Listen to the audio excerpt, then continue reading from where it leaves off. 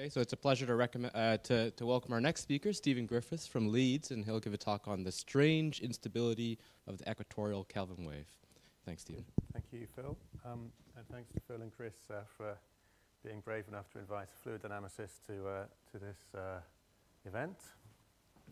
And um, this is uh, part of a collaboration with uh, Josh Shelton, who's sitting at the back, or he was sitting at the back. I think he's disappeared actually for some reason.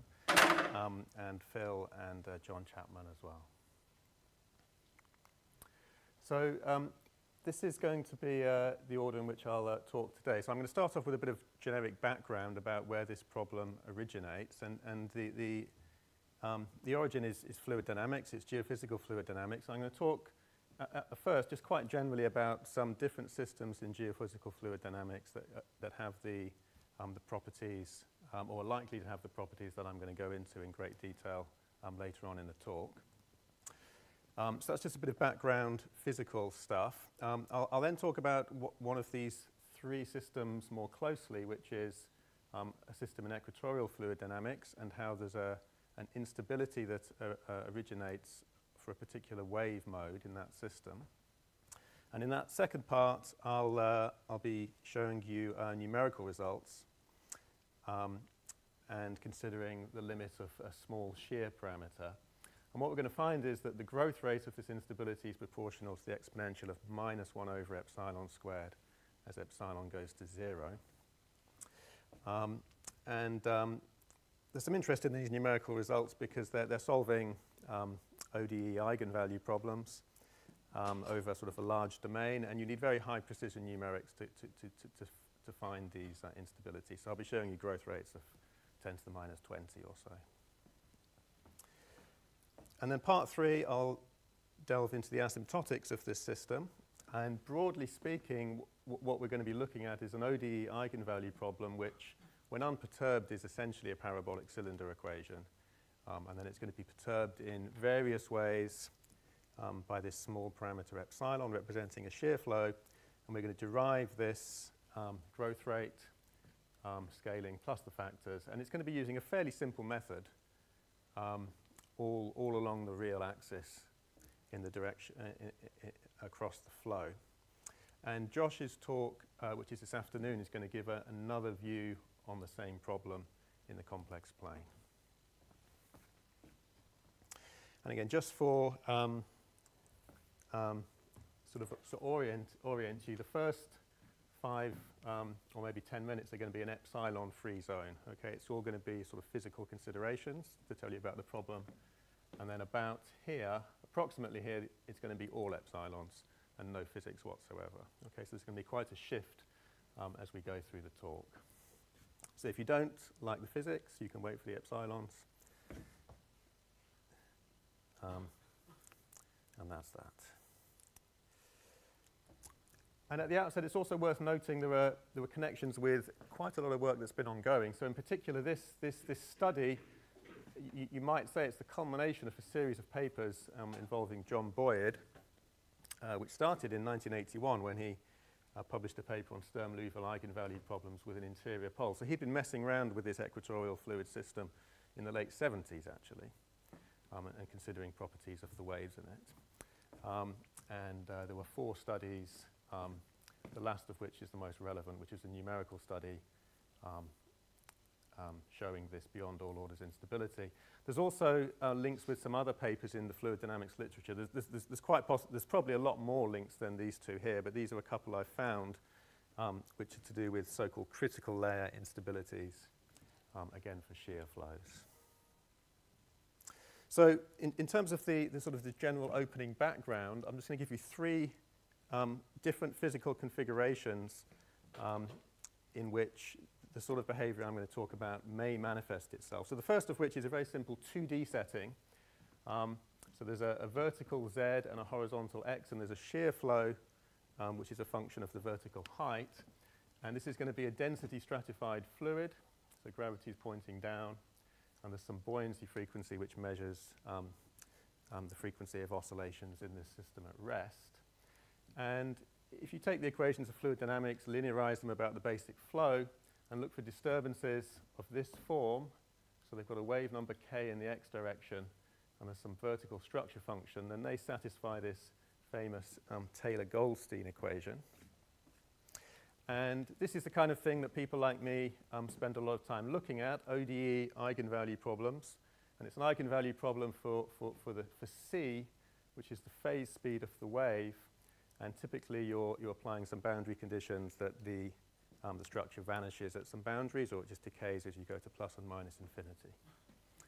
Um, so it's an eigenvalue problem for this phase speed c, and we're particularly interested in if the phase speed c has an imaginary or a positive imaginary part, because that corresponds to an instability in a growing mode.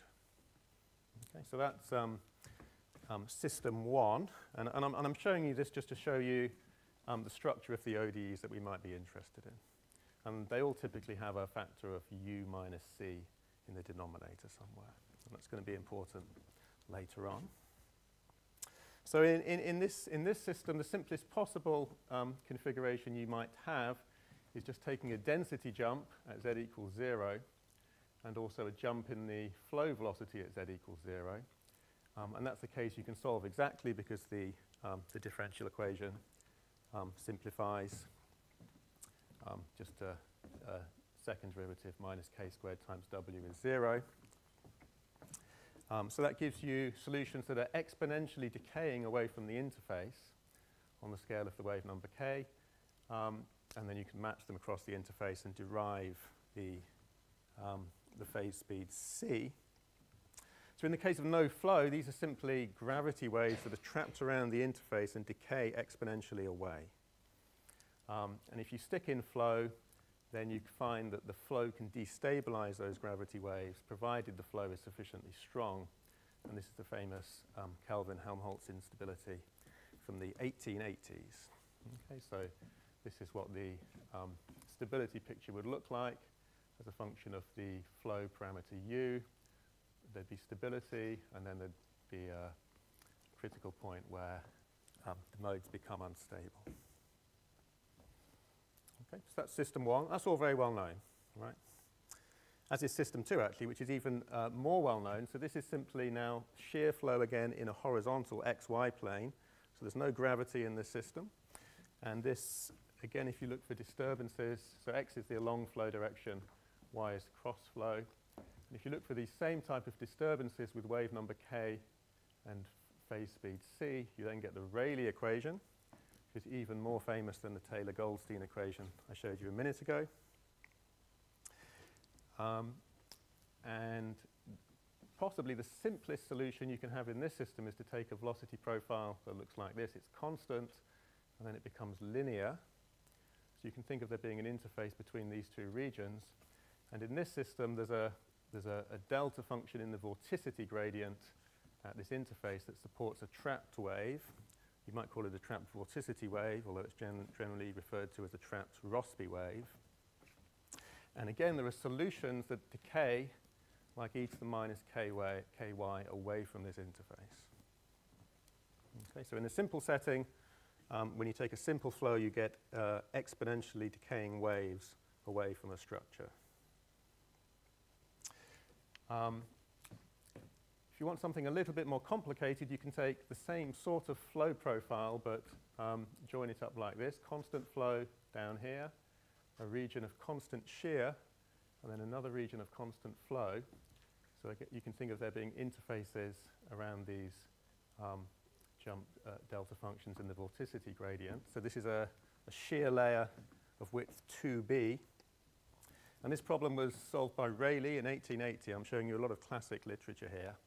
Um, and he derived this expression for um, the phase speed c. I mean, this is a really classic paper in the history of um, hydrodynamic stability. Um, and if you and uh, the, the, upshot of this is that there's a, a, finite range of wave numbers leading to instability, so that's negative values of c squared, and then the flow stabilizes beyond that. And this instability can actually be interpreted as a um, an interaction between one wave on this interface and another wave on this interface. Um, but because these waves uh, have got this exponentially decaying structure away from the interface, um, the interaction and the instability becomes very weak as the wave number becomes large. So that's system two. System three is actually the one I'm going to talk about today. So this um, combines features of system one and system two in that we're going to have a shear flow in the x direction um, with shear in the horizontal y direction, but there's also going to be a z direction um, in which there's going to be gravity and there'll be a density stratification as well and and rotation. I haven't had any background rotation so far. So this is the sort of the full geophysical fluid dynamics system, three-dimensional, rotating and stratified. And without wanting to get really into the details, there's, there's a horizontal momentum equation um, in, in the x and y directions, and then you can combine the density and the pressure. Um, it's going to be hydrostatic um, and incompressibility into a, a, another equation for the pressure and this is assuming that the disturbances are sinusoidal in height. Um, again, we don't need to get into the details. The, the, key point is there's a system of equations in UV, which are the horizontal flow, and P pressure. And you can study this in, in various settings. And, and one setting you can study it in is near the equator. And to do that, you have to specify an appropriate value for this Coriolis parameter f um, near the equator. So if you take the equator to be at y equals 0, um, the appropriate choice is f equals b to y, which means at the equator the flow doesn't feel any rotation, and as you move away from the equator, the flow does feel the rotation. And if you combine those three equations that I just showed you into a single ODE, this is the one you get. Um, it's a bit more complicated than you might like, but it's just the one um, that comes out. So in here you have the, the velocity u, or derivatives of the velocity u in various places. You've got the wave number k. You've got this uh, beta y term, which is to do with the rotation. You've got this n over m term, which is just a constant to do with the stratification in the system. And throughout you have this omega tilde term, which is a omega minus ky term. So you've got these um, 1 over omega minus ky terms in your denominators, which are analogous to the 1 over u minus c's in the Rayleigh system. So it's a fairly complicated ODE. Um, in the case of no flow, it simplifies massively to a parabolic cylinder equation. Um, and if you look for disturbances confined to the equator, um, then you get various kinds of equatorial waves. And all of these decay um, exponentially away from the equator. There's an e to the minus y squared over 2 term in an appropriate non-dimensional coordinate y. So again, you have waves that are trapped near a, a feature, which in this case is the equator. Um, I mean, that's the, the simple case, which has been studied since about 1966 or so. This was first derived. Um, and when you stick flow in, it becomes horrendously complicated, and you, you, you resort to numerical simulations in general, and they show all sorts of different instabilities. Um, and the relevant point here is that some of these can be interpreted as resonances of these waves, these trapped waves. So um, this is the end of this uh, first part. And, and, just what I want to stress is that we, we, or I, am interested in um, instabilities of, of, shear flows. So these are linear instability problems, and potentially in a wide range of settings with different configurations of rotation, stratification, shear, and so on. Um, for all of them, you end up with an ODE that you need to solve. It's usually a second order ODE um, with some boundary conditions, typically that the disturbance vanishes as you go to plus and minus infinity. And this is a, an eigenvalue problem for a, a complex phase speed c. And if c has an imaginary part, you have an instability, which is generally an interesting thing. Um, in all of the systems I've shown you, when you have no flow, there are waves that decay exponentially away from some structure. So it could be a jump in the density, it could be one of these vorticity um, delta functions, or it could just be something like the equator, which gives some structure to the flow. Um, and, and this, this, is, this is really key to, to what's going to happen later in the talk, that you have a wave in the system that decays exponentially. And that's what's going to give us these beyond all orders terms in the phase speed. Um, yeah, and, and, and these instabilities, they can often be interpreted um, as some sort of interaction between these waves, these trapped waves, um, and, the, and the background flow. Okay, so that was part one. So part two, um, this is the transition from the physics to the epsilon. So um, we're going to return to that um, equatorial system. So either these set of three PDEs um, or with this particular assumed structure, this, this big ODE. And we're going to make one additional assumption is that the shear flow is going to be the simplest possible shear flow, which means that the velocity just increases uh, linearly in y. So it's just a flow with constant shear. And after an appropriate non-dimensionalization, which, again, we don't really need to get into, um, these are the, the governing equations in U and V, which are the horizontal flows, and P, which is the pressure. So D here um, just denotes a, a, derivative with respect to Y. That'll be the case throughout the talk. So Y is the active um, dimension. So all the X, Z, and T dependence disappears into a, a wave number um, and a phase speed. Um, and in this system, there are two parameters. There's a, an epsilon, which physically is, is this, which is a combination of a vertical wave number, a shear, and something to do with the stratification and the rotation. But broadly speaking, we can think of this as being a non-dimensional shear. It's proportional to lambda squared, the shear. Um, and there's another parameter k, which is a non-dimensional wave number, which is just to do with the geometry of the waves um, or the disturbances in the x direction. So everything from here on is based on these three equations um, for u, v, and p, which are functions of y, which is the north-south direction. So you can think of y as being latitude, I guess. Um, now, when epsilon equals zero, so this is going to be the unperturbed system, there's a solution of these equations which is um, very simple, which is a wave with u and p both as the exponential of minus y squared over 2, v being 0 and the phase speed as being 1. So this is just a wave moving in the positive x direction at speed 1. And this is the, um, the famous Kelvin wave, although Kelvin didn't discover it, um, but it's called a Kelvin wave by some people. And that's the sort of the, the basis of the, the, this, this talk. And what was discovered in this series of papers by Boyd, culminating in this paper from 2001, Natarov and Boyd, is that when you um, set the shear to be non-zero, um, that this Kelvin wave becomes destabilized. So they found numerically that there's a mode um, where this phase speed c, the real part of it tends to 1, which is the value for the, uh, for the Kelvin wave, and the imaginary part, they suggested scales like the exponential of minus 1 over epsilon squared based on their, their numerical results. Um, it's, it's, also just worth noting that, that, there's nothing special about there being a mode with a positive CI. You can, um, you can also find modes with negative CI if you wish. The, the solutions occur in complex conjugate pairs, but we'll focus on these um, unstable modes in this talk. So what I'm going to do is just show you some numerical solutions of this um, set of equations. So it's just sort of revisiting the Natarov and Boyd study. Um, and you know, this is just a, fundamentally it's a second order ODE system in Y. So you can, you can find um, solutions easily by shooting.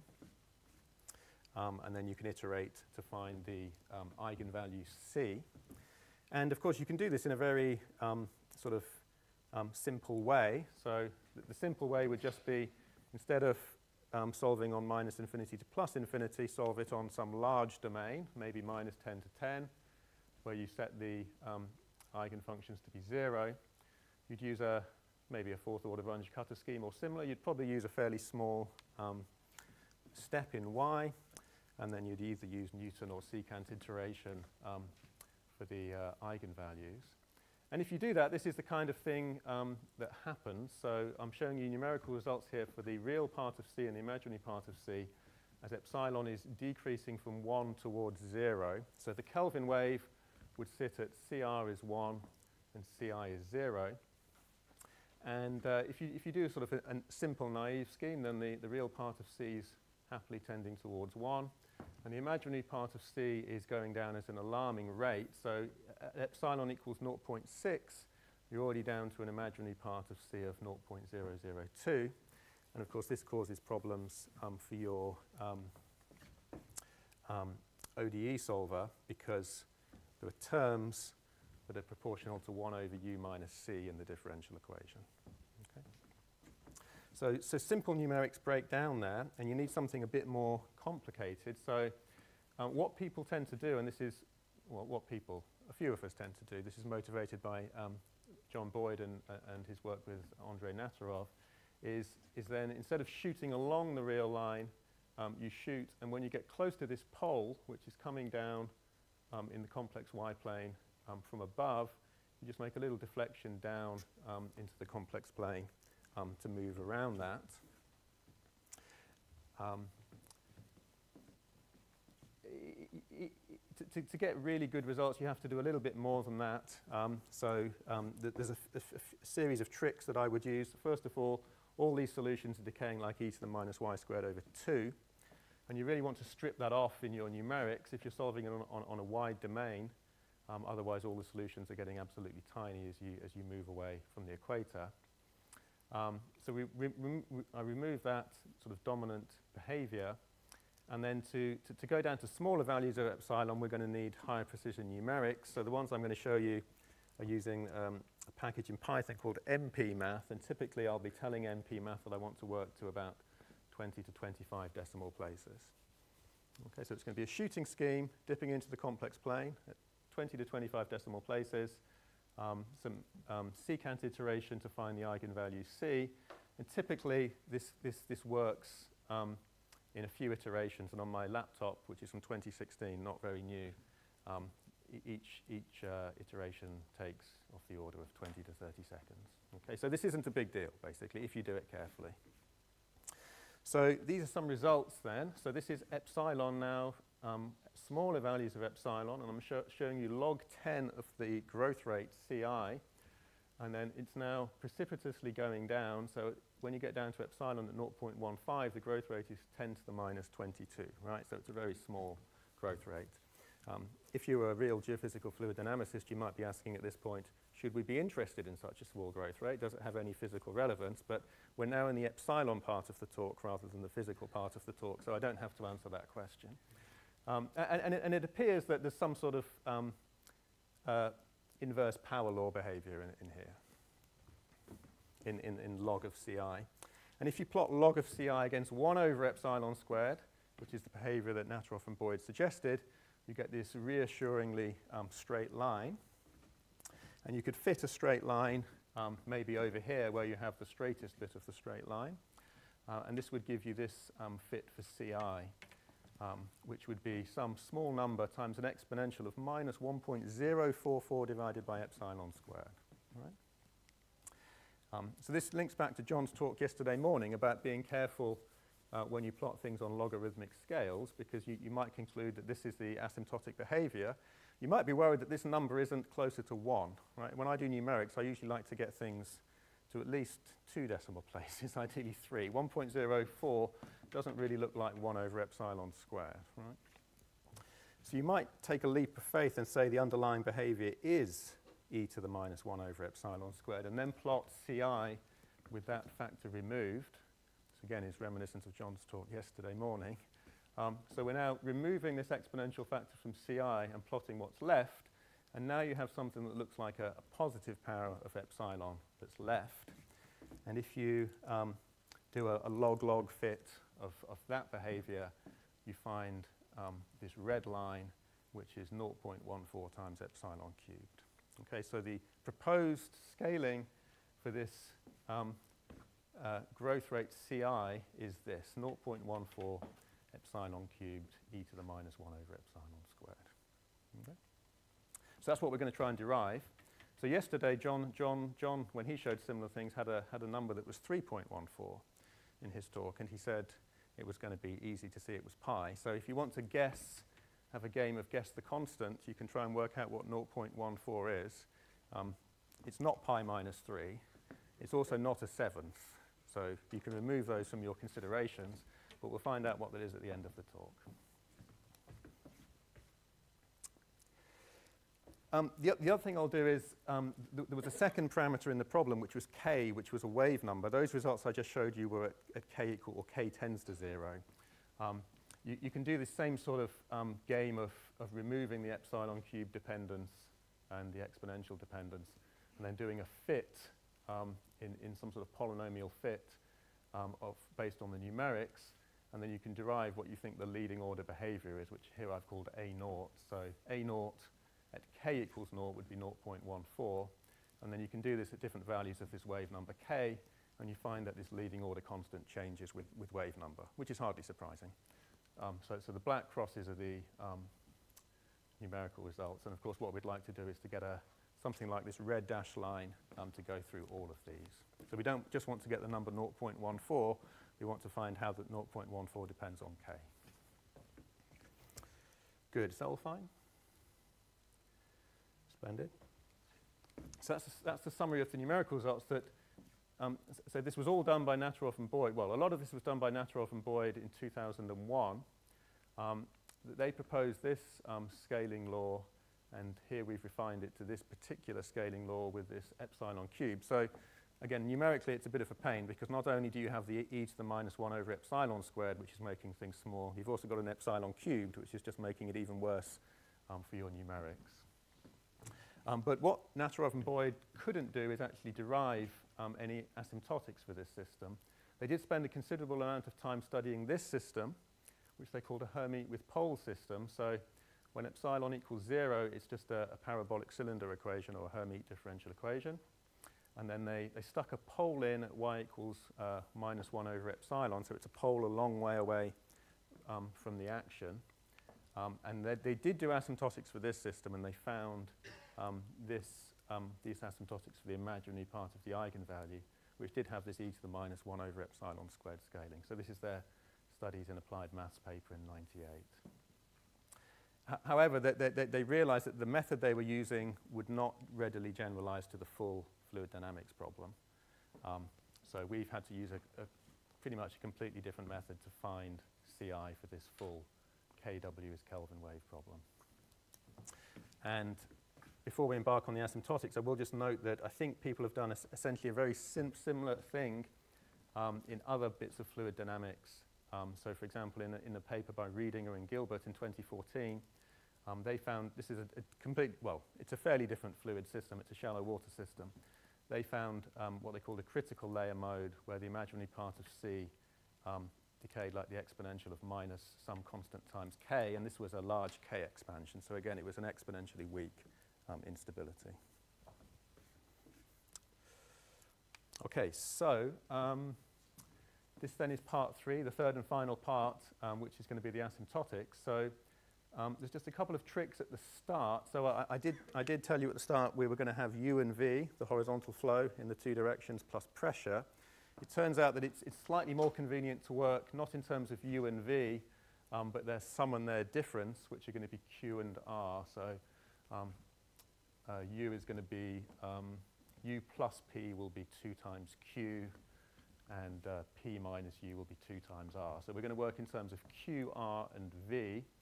And the three equations I showed you at the start of part two become these three equations for Q, um, R, and V, which are all functions of y, and D is just the uh, going to be denoting the y derivative.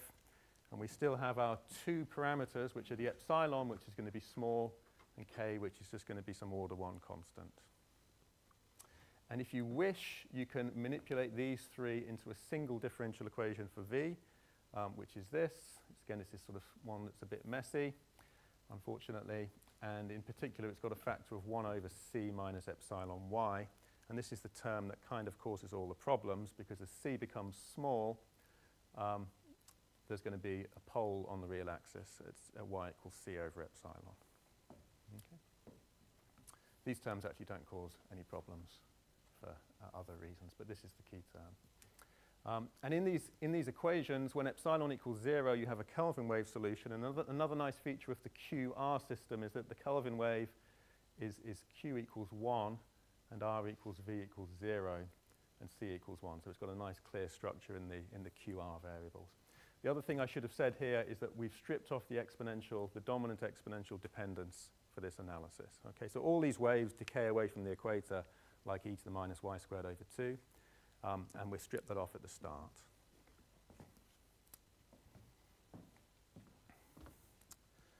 So we just do the usual stuff to start with. We'll, we'll, we'll, we'll first of all do an, uh, an, analysis near the equator. So little y is going to be order 1. And we'll just perturb around this known Kelvin wave solution, uh, which only appears in the q variable, and it's got the phase speed of 1. And I mean, it's, it's fairly easy to do. You, you, get expressions like this that come up for, for, for, for, the first perturbation to v, and you just want to make sure that all these things still honour the decay that you need as you go to plus and minus infinity. So you've actually already got decay built in because we stripped off um, this e to the minus y squared over 2. So all you need to make sure is that your solutions do not grow any faster than e to the minus y squared over 2. So for example, in this first term for v1, as y goes to infinity, this would become a constant, and you'd get growth like e to the minus y squared. So the first perturbation to c would have to vanish. Right? And it, it, it, it, works out all very nicely. And this is the developing expansion for c, um, q, r, and v. Okay.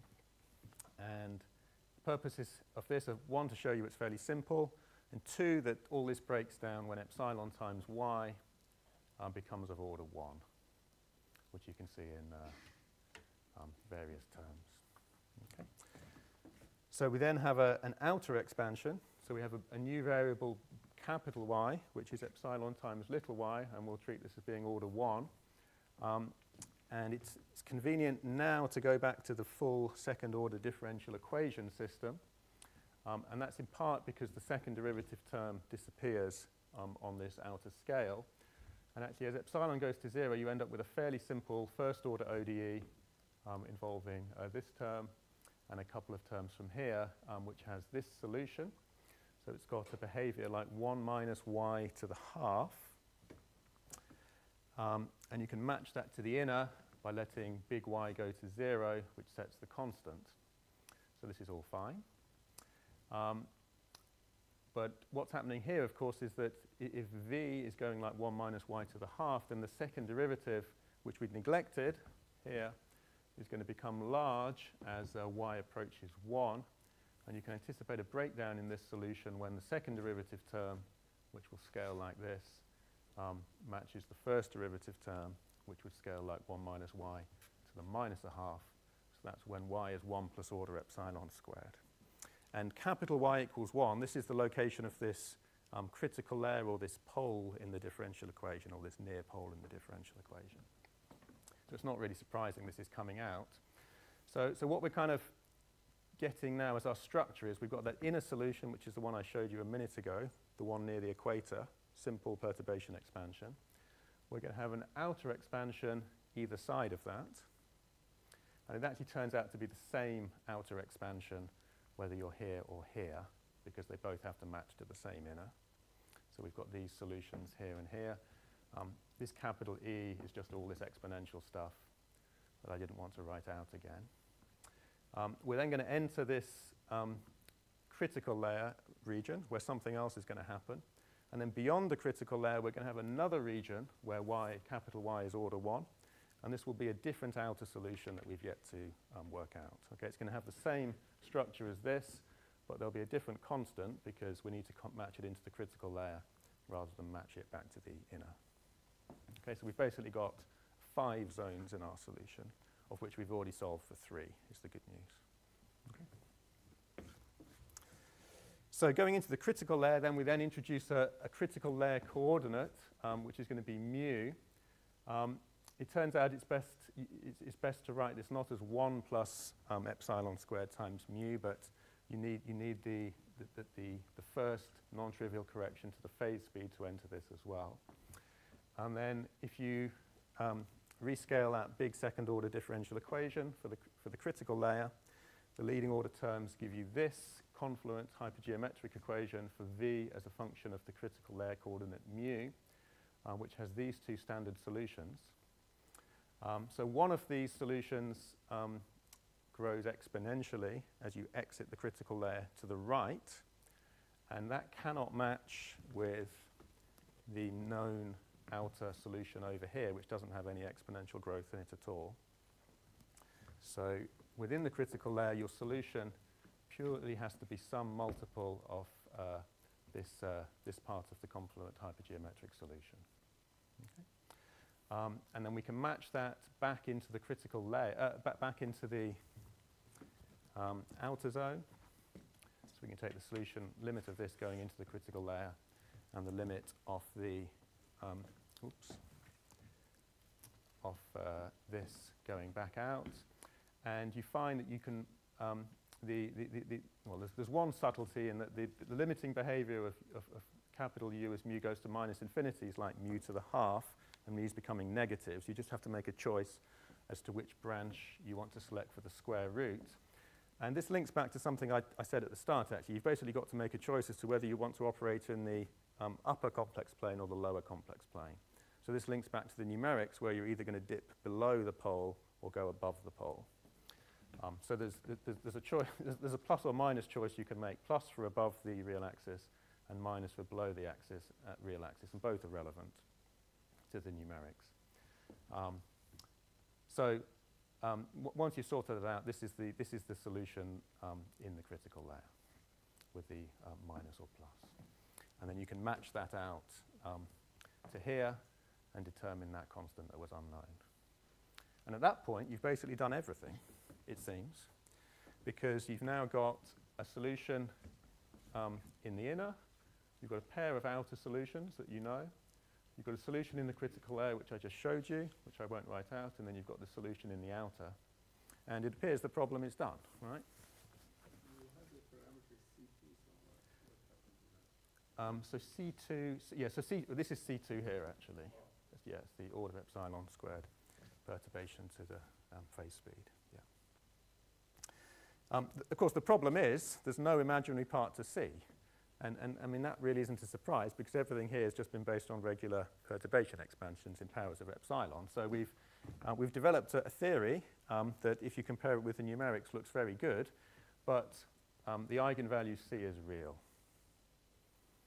Um, furthermore, the leading order eigenfunction is real um, all the way over here, and it actually transitions to be pure imaginary out here. And in the critical layer, um, the eigenfunction is actually complex. It's got real and imaginary parts. So, so there's a transition zone from real behavior for the eigenfunction to imaginary behavior. And you can actually probe that a little bit more by thinking about the asymptotics of this confluent hypergeometric function um, as mu goes to minus infinity. So that's exiting from the critical layer back into this outer. So um, this was the behavior I showed you before that um, the dominant asymptotic behavior is, a, is u has an imaginary part, which goes like mod u to the half. But it has actually got a, a, real part, and the dominant part of that real part is like an e to the minus mu over mu to the half. And as mu goes to minus infinity, that term, of course, is becoming exponentially small, right? So it needn't enter into the matching we've done, but it's nevertheless there. So um, as you exit the critical layer, um, there's a, a real part to V, which is determined by this, which is matching to the outer here.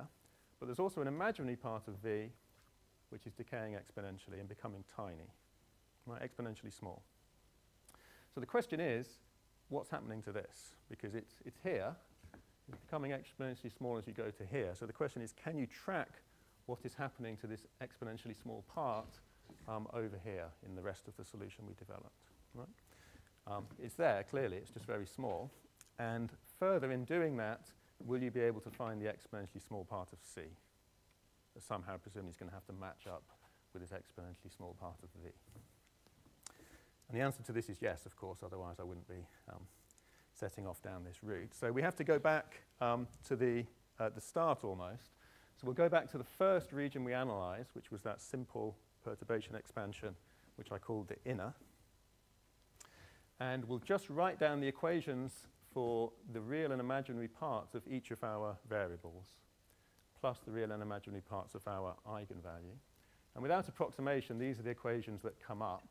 So I've written these as basically equations for the real part of everything um, with some imaginary parts on the right-hand side, and then equations for the imaginary parts with some real parts on the right-hand side. And that should be a CR, and that should be a CR as well.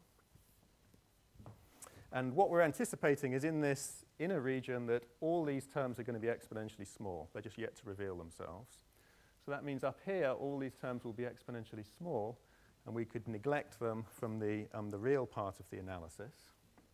which we've already done. So the real part of the analysis stands um, in terms of the regular, regular perturbation expansion. And then um, all these expansions for these real parts we can then stick over onto the right-hand sides as terms that are forcing the imaginary um, components of the solution. So we can rewrite these terms as terms that are exponentially small because they've got a ci in them uh, multiplied by something that we know. Okay? So there's kind of an assumption here which is really motivated by the numerics that there's going to be an exponentially small ci going along with these exponentially small parts of the eigenfunction. So the leading order balance has to emerge from, um, once you throw a few terms away, the leading order balance has to emerge from this set of equations. And it's not really obvious what it has to be, but there's clearly a scaling here where all of these imaginary parts are just proportional to Ci with no additional epsilon dependence. And if you track through the maths, you find that the imaginary part of V um, um, is, is, this. So I've, I've, imposed here that it's going to decay as y goes to minus infinity. That's the direction where there's nothing dodgy going on. You just want everything to decay nicely. Um, but as y goes to plus infinity, this grows like e to the y squared. Okay, and that's good because we want something exponentially, exponentially growing to match to the um, imaginary part of V that was exponentially decaying in the critical layer. And you can work out what R and Q are doing as well, if you want to. And they're also exponentially growing. So where are we now? So we've, um, we've just looked at this inner solution and we found an exponentially growing uh, imaginary part of the eigenfunction. A few minutes ago, we looked at the exponentially decaying part of the uh, imaginary part of the eigenfunction coming out of the critical layer. So all we have to do now is match them up in this outer region. And then hopefully something will emerge. Um, so you can, I mean, I don't think we want to get maybe bogged down in too many of the details, but you can, um, you can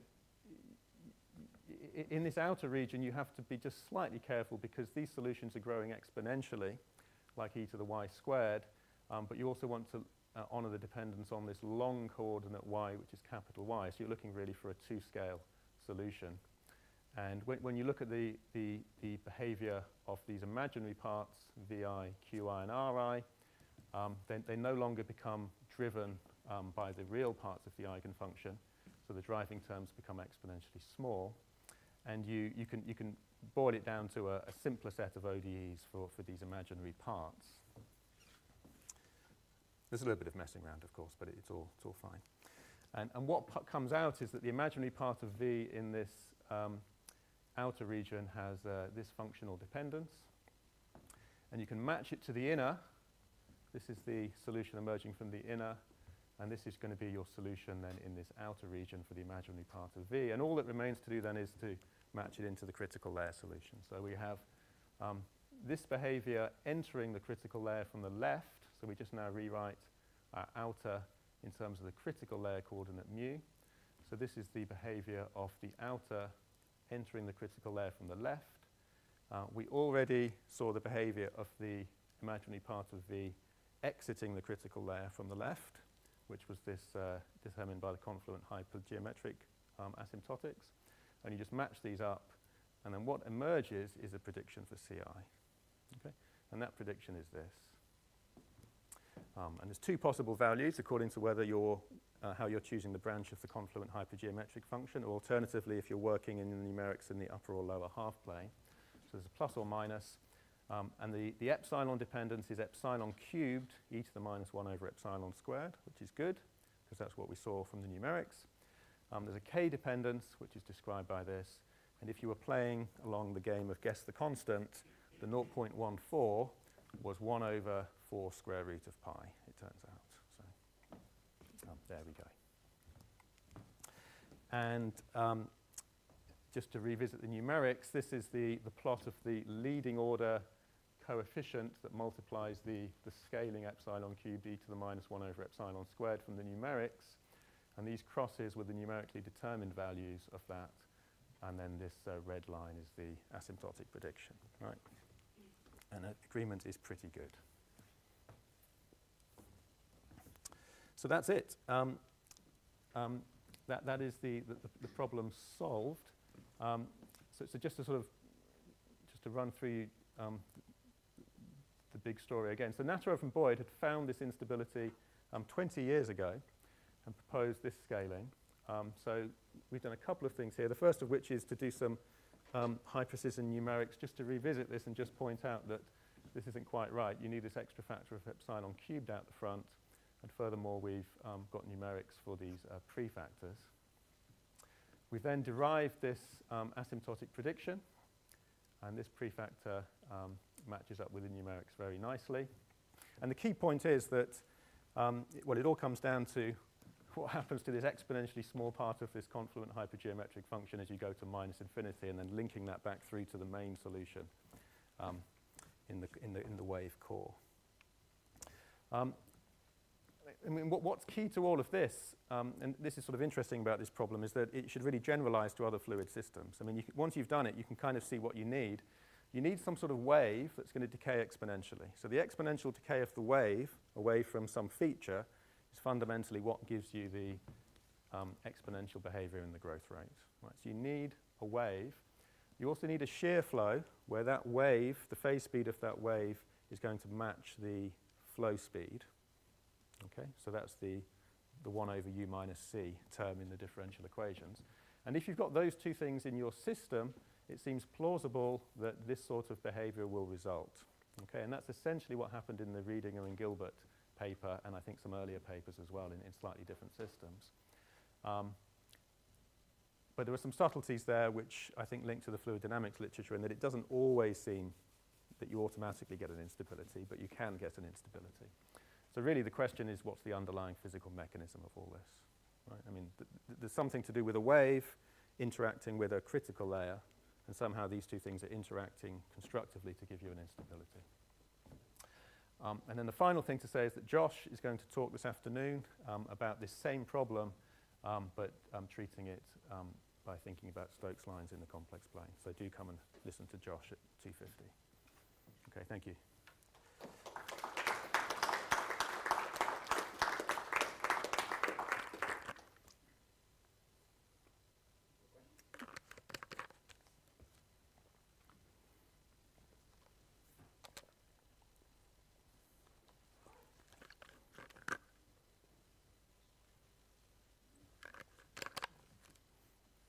This is not really a question, but more a remark. So in your Mhm. critical layer, wh- what you were doing there is actually just an, an, an- a local expansion. Mhm. It would be interesting maybe to see if you would do a full uniform expansion there, because then, then it would, wouldn't hold locally, but it would hold in a much, much bi- bigger part of the y, little y range, and Mhm. might even go directly to minus infinity.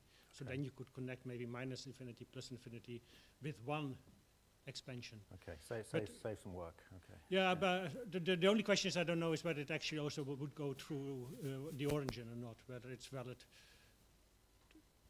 till the origin or goes Yeah. further. But Yeah. that's one thing to, to try maybe at some point. Okay, but it's a, thank it's a lot of work. you. Okay, thank you. Yeah, with uh, C minus epsilon y everywhere, I was wondering if you thought of using C minus epsilon y as a change of variable, uh, because that would put your eigenvalue in the numerator. Uh, because you have C minus epsilon y, and you do a asymptotic analysis in a complex y domain, slightly shifted off Mhm. and you could perhaps recover a lot of these results uh, uh, in, Okay. you know, in, in a in a different way. Okay, yeah, sounds like an interesting um, Yeah. thing, thing to. Um, I, I had a question for the audience as well, Phil, which is, which is, I mean, I mean, I mean, we, we discovered this, this, this method, um, you know, just by playing around. I mean, the other, the other question for the audience is, have you seen this sort of an, a, a, analogous methods to this and other problems? Right. You don't have to answer that now, but um, if you could tell me after the talk if you've basically met this procedure in other problems, I'd be quite interested to hear about that. Great. Thank you for a very interesting talk. Let's uh, thank Stephen again. So our next objective